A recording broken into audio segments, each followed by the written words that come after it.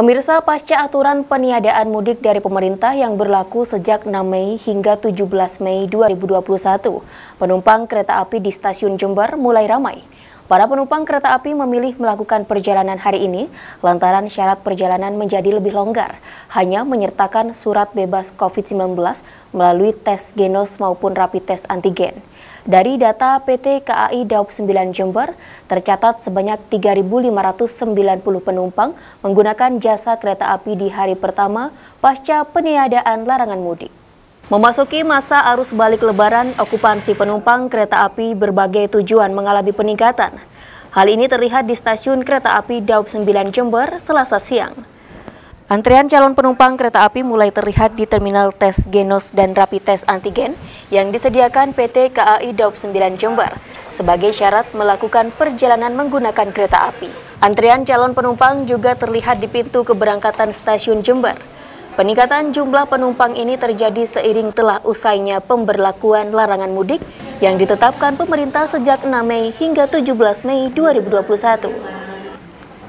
Para calon penumpang kereta api ini memilih melakukan perjalanan di hari pertama pasca aturan peniadaan mudik dari pemerintah.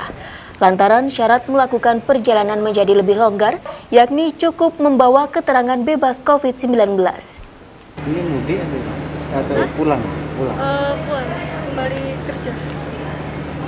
Kenapa kok memilih tanggal 18 ini? Soalnya emang kan e, pembatasannya sampai tanggal 18.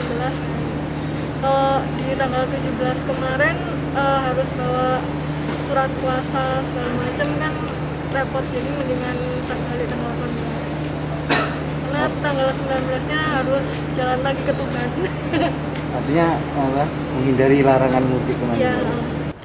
Dari data PT KAI Dap 9 Jember, lonjakan penumpang mulai terlihat pada hari pertama pasca aturan peniadaan mudik dari pemerintah.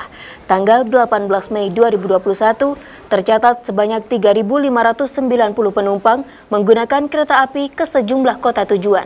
Kini total PT KAI Dap 9 Jember menyediakan 18 perjalanan kereta api untuk melayani penumpang yang menggunakan jasa kereta api, baik kereta api jarak jauh maupun kereta api lokal sekali lagi kami jalankan beberapa tambahan untuk uh, mengakomodir kebutuhan penumpang.